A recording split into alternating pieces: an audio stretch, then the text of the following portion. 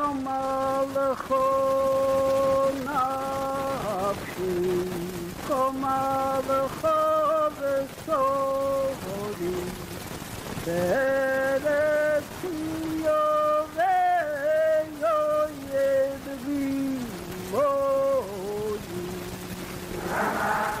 Lubavitch.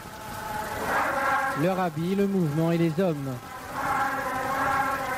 Un feuilleton en 15 épisodes conçu et animé par Olivier Gulan avec Serge Bredovitch et Laurence Potzelver.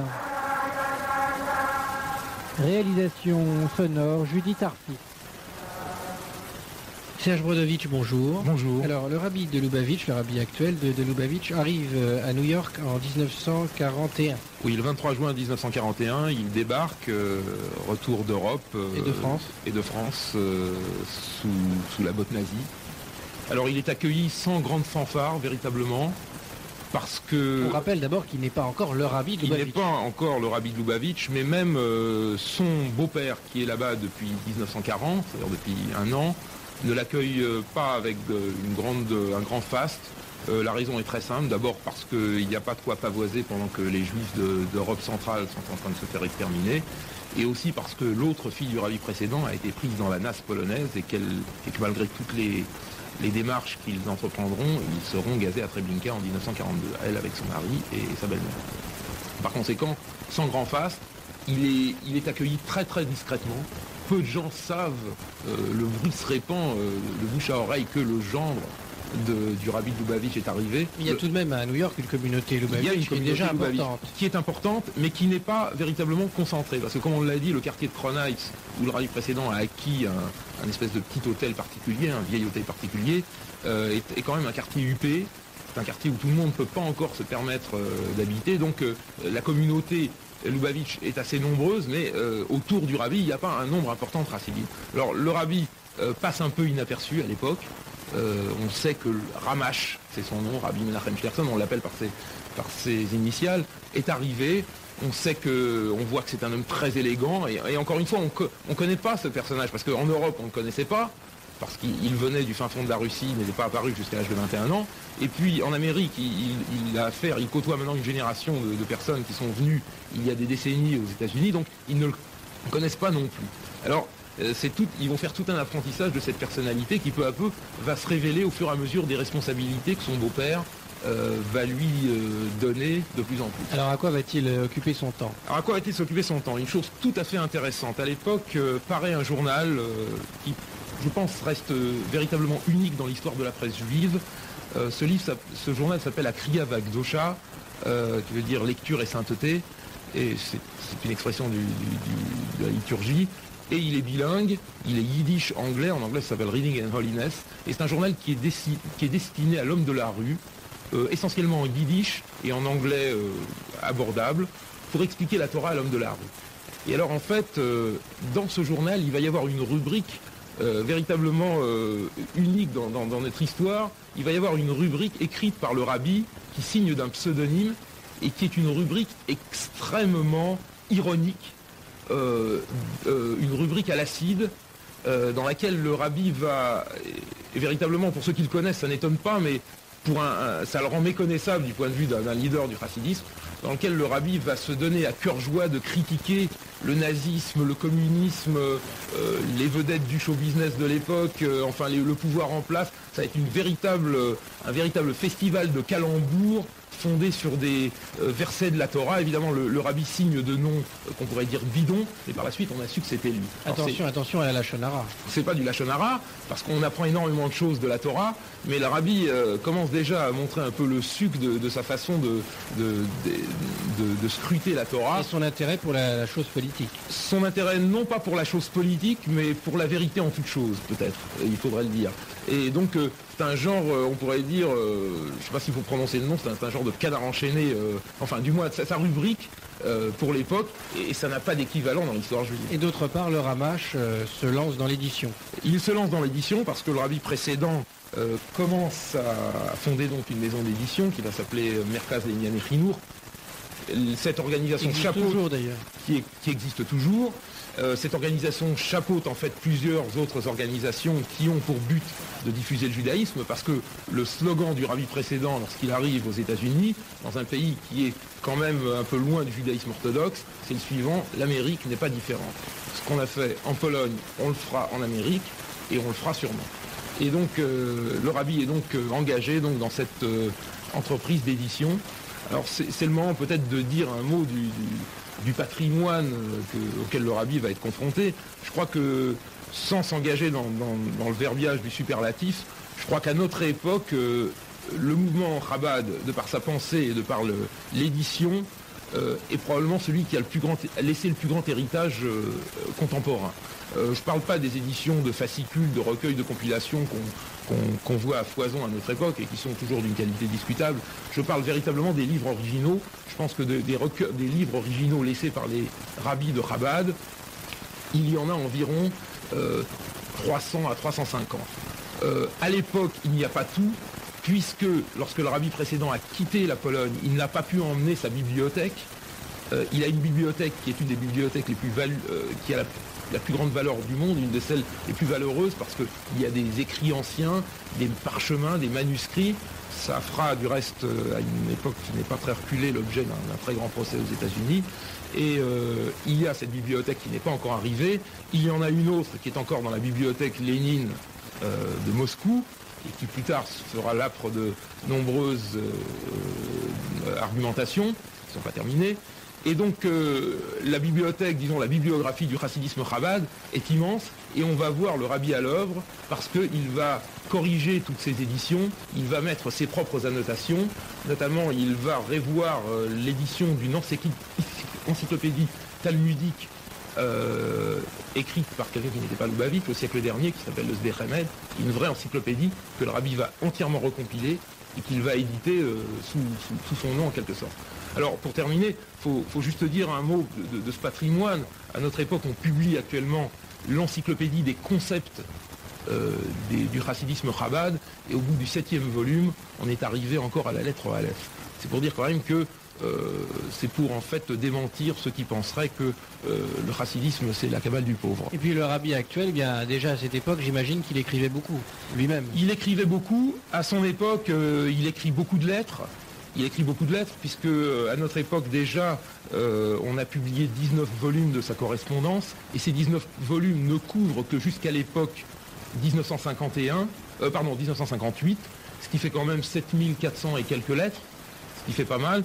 Et à l'époque, euh, il euh, publie son commentaire de la Haggadah de Pessah et il publie quelques fascicules, mais son, travail essentiel est la correction et la mise en, page, la mise en, valeur et, la mise en forme de, toute l'édition Lubavitch de l'époque. Serge Brodovitch, avant de nous retrouver, je vous propose de laisser passer eh bien la traditionnelle pause musicale. La pause musicale, oui, c'est un. On va entendre le rabbi chanter. Ça montre euh, la proximité dont, dont on parlera qu'il a euh, vers les chassidim. Euh, ce, ce chant euh, fait partie un peu du générique, mais on voulait l'écouter peut-être entièrement. Alors on, on va se l'offrir. תמלכו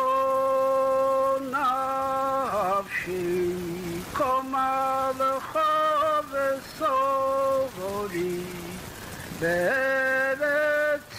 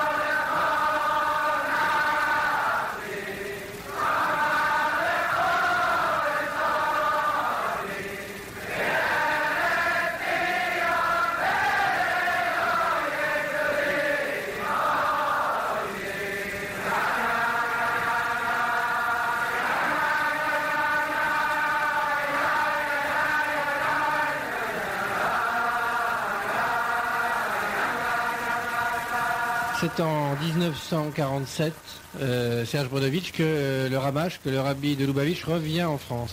Oui, il revient en France. Ça sera sa dernière sortie euh, des États-Unis jusqu'à présent. Il revient en mars 47 en France pour trois mois parce qu'il vient accueillir sa mère qui vient de sortir de Russie après s'être caché longtemps après la mort de, son, épout, Rabbi Levi-Yitzhak, qui était donc mort en exil au Kazakhstan.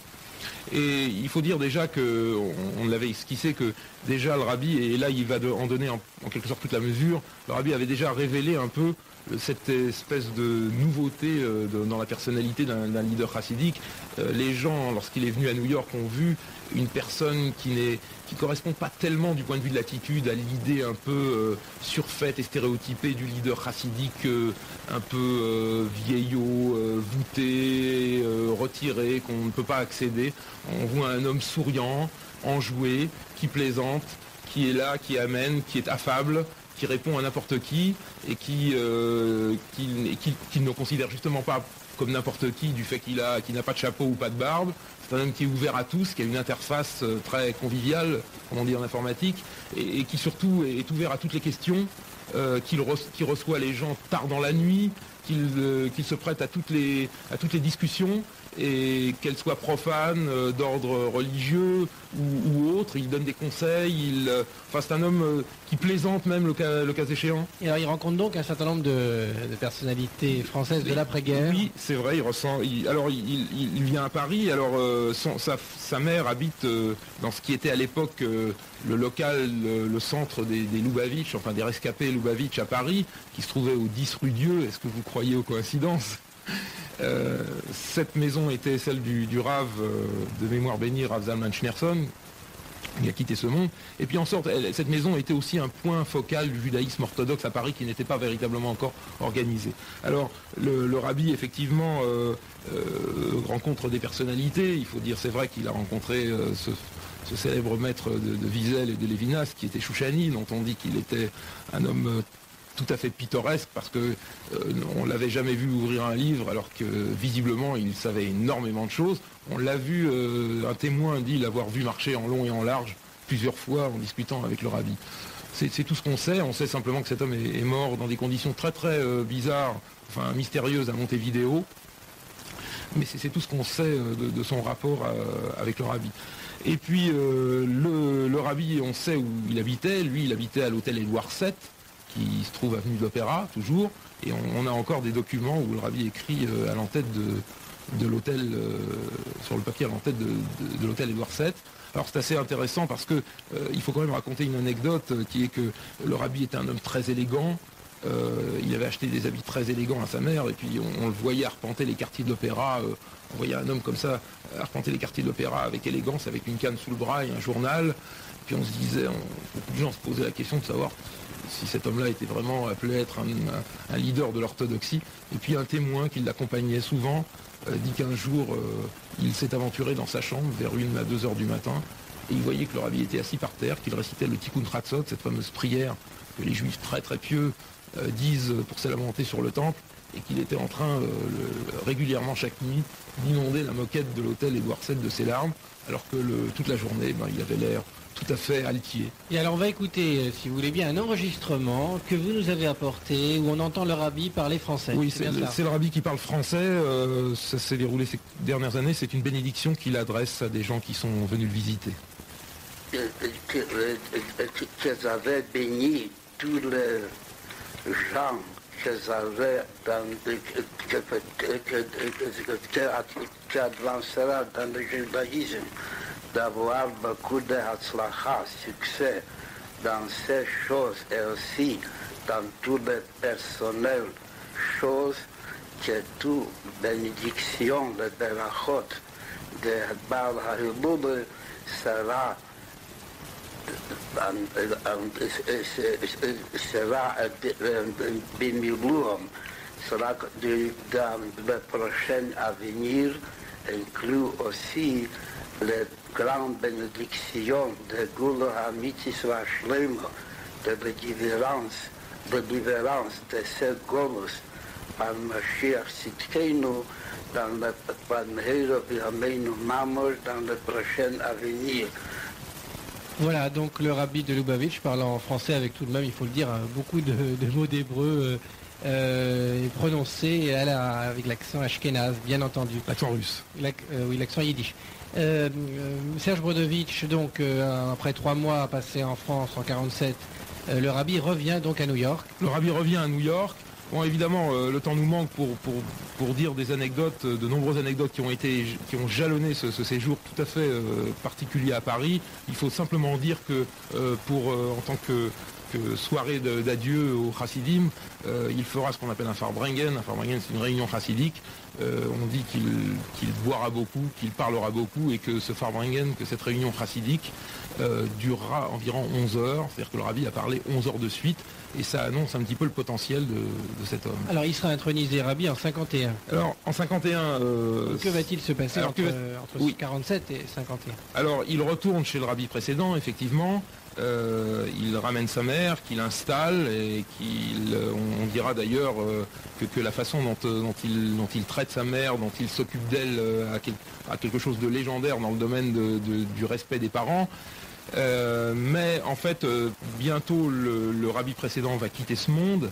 Ça sera vers le 28 janvier 1950. Le rabbi précédent qui est véritablement fatigué, euh, de, toutes les souffrances qu'il a endurées, de, tous les contre-coups de, l'histoire juive qu'il a accusé, euh, quitte ce monde. Et pendant un an, il faut dire, euh, le, mouvement Lubavitch est atterré parce qu'il n'y a pas officiellement, je dis bien officiellement, de, successeurs. Je dis bien officiellement. ceux qui connaissent le rabbi savent quel quel puits de science il est, quel, puits de science au sens talmudique et au sens profane, mais il ne le révèle pas tellement. Simplement, la seule chose qu'on sait, c'est que de plus en plus, il remplaçait le rabbi précédent euh, lors des Farbringen, lorsque le rabbi précédent devait prendre la parole à l'occasion des fêtes et qu'il avait énormément de, mal à s'exprimer, alors c'est le rabbi qui le remplaçait. Alors, évidemment, le rabbi était plutôt pressenti. Évidemment, on savait que si c'était quelqu'un, c'était lui, mais on n'osait pas vraiment prononcer de nom jusqu'à ce que certains chassidim euh, ont, mis les choses au point et ont dit euh, c'est lui qui doit succéder. Et alors il s'en est, suivi un échange de lettres assez pathétique dans lequel les chassidim suppliaient le rabbi de, prendre le relais et le rabbi qui, qui refusait poliment en expliquant que ça demande des capacités qu'il n'est pas sûr d'avoir jusqu'à ce que finalement, bon, euh, l'insistance a été si grande. Et je dois avouer que non seulement l'insistance a été grande du côté de Lubavitch, mais même des grands euh, maîtres euh, du judaïsme orthodoxe de l'époque, dont le moindre n'est pas Rabbi Yitzhak qui était un des chefs de, l'orthodoxie américaine, avait suggéré au Rabbi de, prendre ses responsabilités, comme on dit à notre époque. Alors comment, comment s'est passé précisément cette intronisation? Oh, Il n'y a pas eu d'intronisation particulière. Le, jour anniversaire de le premier jour anniversaire du décès du Rabbi précédent, en 1951, euh, le 17 janvier. Le rabbi s'est assis, a, fait, déclaré, a fait un Farbringen, il n'a pas du tout été déclaré, euh, ça s'est fait le plus naturellement du monde. il, s'est assis, comme d'habitude, parce qu'il avait l'habitude de faire des Farbringen, mais celui-là avait une, caractéristique particulière.